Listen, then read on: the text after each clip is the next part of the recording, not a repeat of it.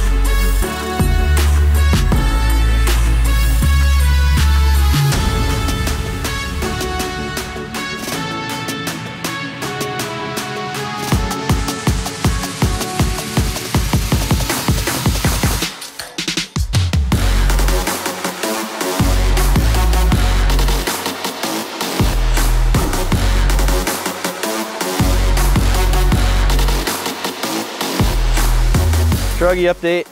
Uh, we talked about last time the side panels, kind of covered that. So if you want to dive into that stuff and get details, there's two options. There's just the walk around um, talking about design with this, and then there's also the Fab Diaries episode on kind of finishing these things, putting the bead rolls in them, getting the shape and, and the design right. What we touched on last time was three items. So we had windshield, roof scoop, hood hawk. Yeah, I said hood hawk.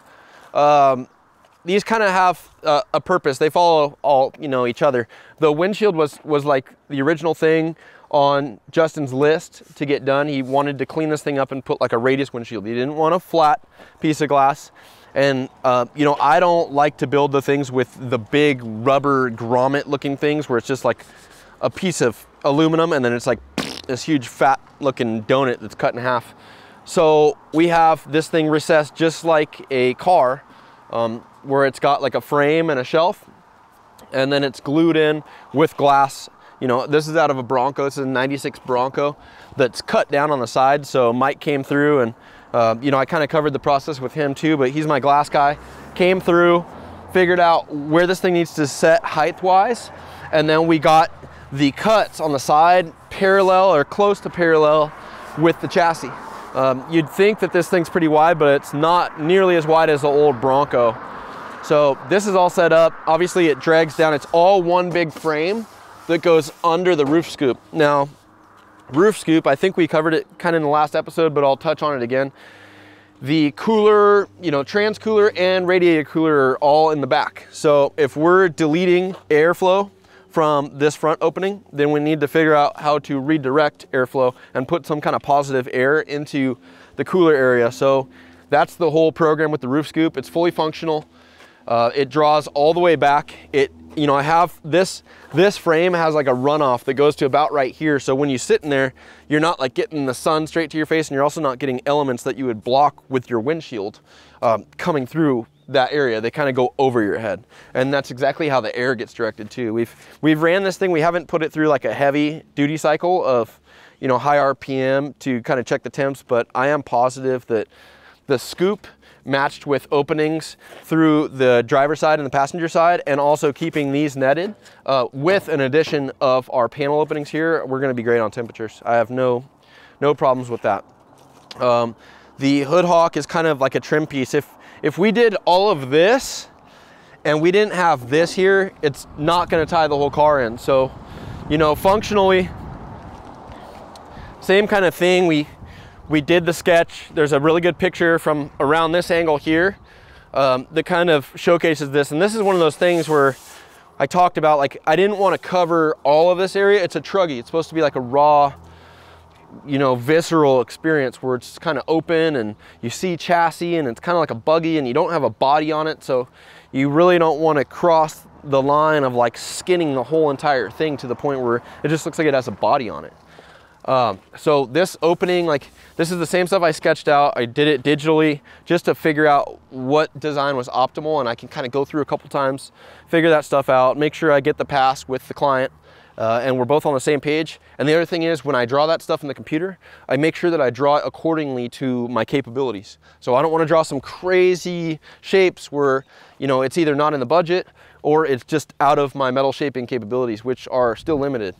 So opening here that goes right into the engine, this will be mesh. You have your reservoirs here, you have your horns here, so the horns can, you know, have sound come out here. That's weird, but horns can use the air way to make horn noises and stuff, which those horns make kind of funny noises. Um, the reservoirs still go back in. The height of this is actually still retaining the same fitting that's on the coilover that kind of boners up and then comes down. So we're still square in there with that, like it's not making contact or anything. And then just a simple kind of cowl that hits this whole spot, goes a little higher than the, the lower windshield line where, um, you know, you can see like it's, it's higher than the glass. And that was the same detail that we did in the sketch. Um, and the bead roll on the top, that also matches the roof scoop detail. So like we'll get up there and kind of look from the top, but that step, like you want to tie this in. If this was all just one panel with no step roll in it, where it had that kind of graphic or that, that center detail, it wouldn't match everything else. So those shapes all complement the side of the car. The one thing that we're missing right now is just the uh, acrylic panel that will go in in like the A-pillar area and the secondary A-pillar, we have a filler here. Uh, that instead of a net, we'll just have like a nice acrylic um, piece of sheet here, like quarter inch or 3 16ths. So that's coming. Um, the next updates on this thing, we'll talk about this a little more, but the next updates, we're gonna do a dash and then we're gonna do a, a rear mesh panel.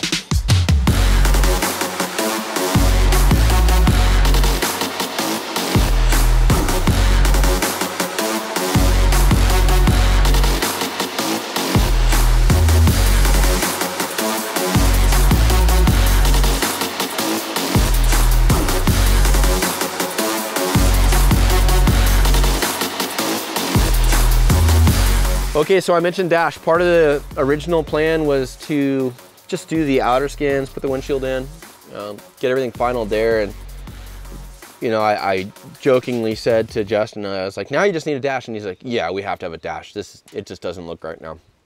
Um, with that, I, you know, I started thinking like full enclosure dash where, you know, you'd start from like the outer perimeters of the chassis, go across, you know, have this thing, a big plane with like some kind of a rise for the gauges or instruments or whatever. And I started sketching that and I was like, man, I, it just, something didn't feel right. And I'm like, all right, well, let's think about this a little bit. The, the truggy theme and, and this, the vibe this thing has is like this partially exposed chassis, you know, like we're just stuff almost like Terminator where part of his skin's on and then like part of it's like this mechanical part that's ripped off. And I think that's the feeling. Like even when you're riding this thing, it just, you smell it and you hear it and it's like still uh, this open sense, like it just, you it's ready to go and adventure and um, go bombing in. So I think what we do, and, and I started sketching it, is to obviously enclose like the front cowl area and then just have like a pod here. Um, just a shape so you're still keeping, I mean, obviously get rid of some of the tricky stuff here and keep like these tubes. These are structural too, how they're tied in. Um, you know, fluff and buff like some of the old brackets off and then build just like a nice pod that matches the styling of like the exterior um, that houses the gauges, houses the switches, leave the middle portion. Uh, just have this be removable. So middle pod removable and then like front cowl um, spanning from you know driver side to passenger side all removable too. So that's another item. So we get we get our um, acrylic windows here or lexan and then we get the two pieces here and then we move to the back behind the seats. Okay so this rear portion this is the we'll call this the b pillar mesh panel. Um, you'll see like there's just loose ends here that I've kind of cut off to work around in the workspace the the car itself is rough around the edges, but it's functionally sound. Uh, this thing has put the work in for 13 years, so I'm not going to complain about that. But what we can do is kind of um, dress it appropriately where we're doing functional modifications that also help with the aesthetics of it. Um, this B-pillar mesh panel area, um, we have some priorities here. So obviously blocking debris Um, the fuel cells back there, this thing does have a suppression system on it, but it's still good to have some kind of wall here. Even though there's gonna be woven stainless mesh in here, it's still good to have like a, you know, some kind of perimeter in here from, from the occupants to like the fuel cell and just all the elements in the rear. Um, but priority one is these coolers. So there's obviously a trans cooler here and then the radiators back here. And that's kind of our main squeeze. The biggest bummer on vehicles is if they run hot when you're, when you're driving them the way you should. So um, what I'm gonna do with design on this is I've already kind of started concept sketching as far as the layout for the mesh openings. Um, we want to obviously feed the coolers before anything else and then tailor the design to not just the B-pillar section here in this wall, but also to the exterior panels and make sure that everything is speaking the same language. So like, um, you know, these areas here where the seats are, um, you can kind of trim some fat and you don't have to have you know, the, the opening go back behind here to an extent because there's just, there's no air that's gonna be flowing from there anyways. Another thing too that's nice is like you, right off the bat, a lot of times you might wanna think like, oh, well, we just do the cutouts where the tubes are, uh, you know, in between these. And if you wanna maximize your space, your airflow, it's like this tube can flow. You can have your cutout span all the way across this and you just make sure you don't pop hardware in there and you can have your mesh set right there and your opening go past this. You can even do it out here and have it go past this tube as long as, again, like we talked about previously with like the, the rear openings on the exterior panels, just plot your hardware in a way where it makes sense. And then you can open up your airways because if you, if you had two openings here, um, you're, you know, you're spanning maybe three to four inches uh, minimum to get hardware and screen in there. And if you just delete that, then it's just a tube and everything's just flowing around it. So we want to address this. Um, obviously, there's some stuff up on the top that needs to be addressed, um, but that's just like finish work. And uh, we'll, we'll get to that kind of when everything's being gone through final.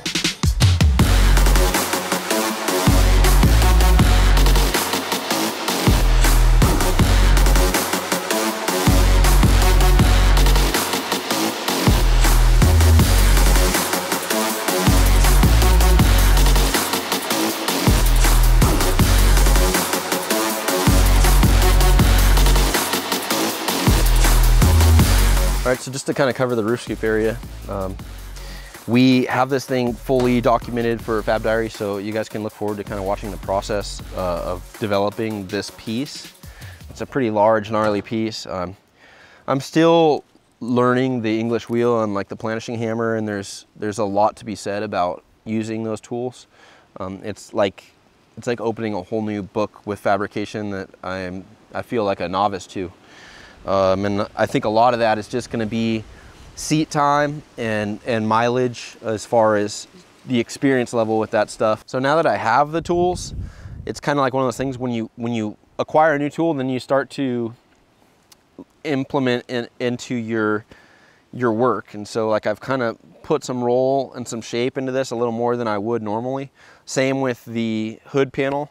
Um, but it, it all kind of carries the same design. This is stuff I sketched out. And then obviously this detail is just a breakup and it also adds rigidity. Like you don't want to get lost in that. You know, the, the whole reason for a bead roll and a step is to add rigidity. It's the same thing I always say. It's just like if you had a piece of paper and it's flimsy and it moves around and then as soon as you like fold it and you do like a hard fold to it or even if you just and you crinkle that thing up and then you open it, it's gonna be more rigid because you've added surface changes to like a flat sheet.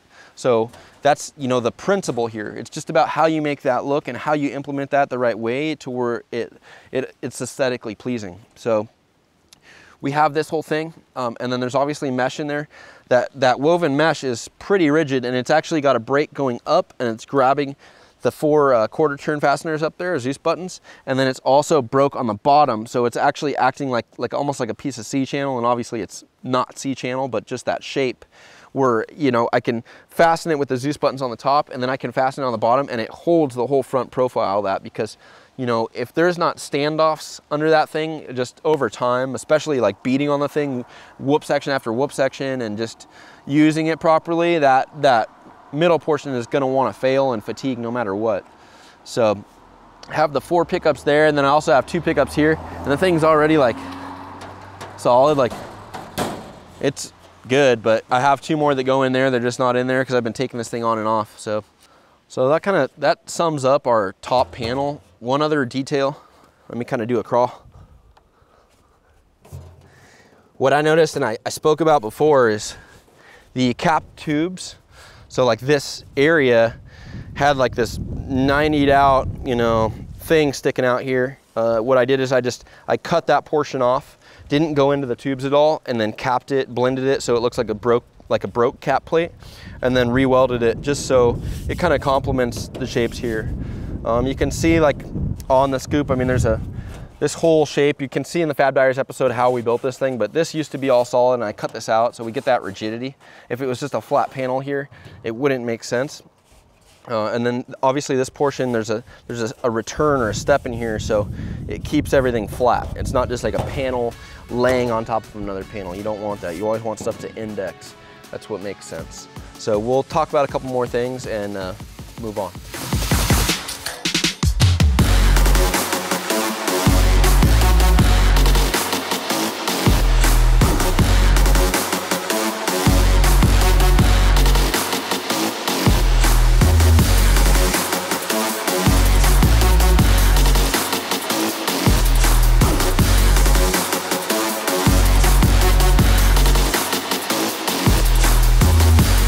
Some of the details on the windshield frame are just solely from form follows function, just how to get this thing on and off. So like obviously the, the reservoirs, I didn't need to change where they were. I feel like they're a cool design element. So they're clearanced to fit in here. And then obviously the intake that runs into the cab with like a UMP style filter, like a canister filter. Um, the tube going to the engine is here. And then all these cuts, like there's kind of a, uh, a larger gap that draws into this panel and that's just so this whole thing can come off as one. It, it, you got to kind of figure out what you're building and make sure you don't barricade yourself in with the part where then you go to take it off and you're like, oh shit, it doesn't come off or you're having to tweak something or just, you know, manipulate something to get the actual part off. So this thing is modular where it, it, it just drops in. You know, you take this off, you take that off, and then this one goes first. You drop it in, and then bink, bink. So same with this, like for, for any kind of flex or service, we have it, we have it, you know, appropriately gapped here, appropriately gapped off the glass, where it's just, it's safe. We're kind of playing it safe. Same with these panels. These panels index, so you can just pop these two out and you can see the other side's on. I just don't have the fasteners on, but this actually captures. So again, you're, you're indexing a panel. You're not just trying to fit them at a seam. So phase two is complete on this thing. Frenched in radius windshield, functional roof scoop, hood hawk, uh, all done. We have Fab Diaries on both the windshield frame and roof scoop process, so you guys can look forward to that this Friday. Uh, that's what we're gonna keep doing unless you guys have a different format that you'd like to see. But it'll be, you know, with specific builds, we'll do a Fab Friday or specific things that we want to cover. So they're not going to be every Friday, but they can be concurrent with like releasing this on our normal Monday and then having it follow up on Friday with like the actual build process and the fabrication side of it. Uh, and then we're gonna move on to the interior appointments. So like I mentioned before, I guess this would be an exterior thing, but we're gonna put these windows in, that's gonna complete that outer look. And then we're gonna get all the instrument panel finish done and the uh, like the middle cowl cover and the B-pillar mesh panel done. And then that's gonna conclude this thing. And once that's done, then we're gonna go testing. So we'll be able to get this thing in the dirt and show you what it does and how it sounds and how it looks in its natural environment. Uh, I can't thank you guys enough for the support. It helps us out. Uh, please like, comment, and subscribe. Let us know what you want to see. If there's more you want to see, if there's something that catches your eye, uh, just comment, let us know. And thank you.